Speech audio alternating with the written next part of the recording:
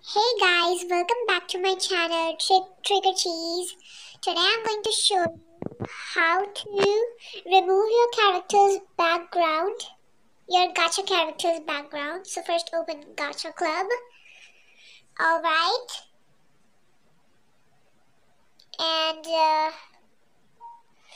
then uh, open your, um, then like open your character in studio you can position it likewise like whatever pose you want or something.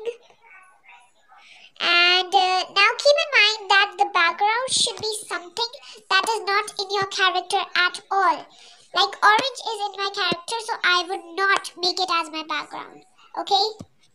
So like this lime green thingy is not at my like is not uh, like uh, in my character at all so we're gonna keep this.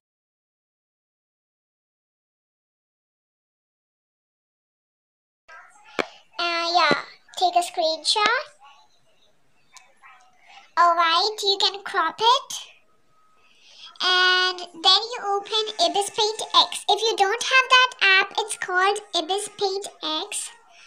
Then uh, you open my gallery and uh, import picture.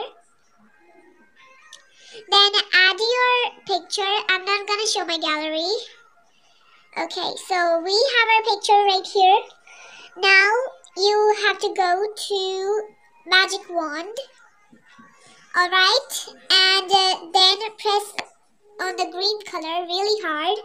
Then click here and clear the layer.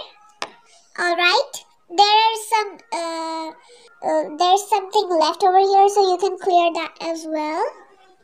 Alright and just do it really fast. Okay and actually most of the green parts aren't that visible so it's okay. And I hope you like the video and just uh, save it as a transparent PNG and that's it guys